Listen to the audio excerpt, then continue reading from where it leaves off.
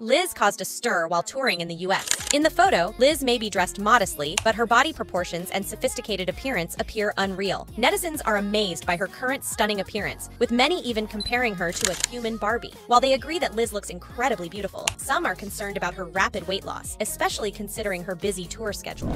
Shuhua from (G)I-DLE shared stunning photos in her super lady outfit, including a tight bodysuit and bedazzled hat. Fans were particularly captivated by a backshot, emphasizing her curves in the short outfit. Fans couldn't help but comment on her sexy appearance, some even jokingly asking her to step on them. Shuhua left a bold response in return. A old clip of Yuna at KCON LA 2023 has garnered attention and gone viral again. Yuna was happily enjoying the music and interacting with fans as usual. However, when THE BOYZ' Sunwoo briefly passed by her, Yuna's demeanor immediately changed. She swiftly withdrew her hand, ceased smiling, and turned away, sparking fan speculation about past misunderstandings with other idols. Most speculation revolves around a love triangle involving Huening Kai of TXT and Won Young of IVE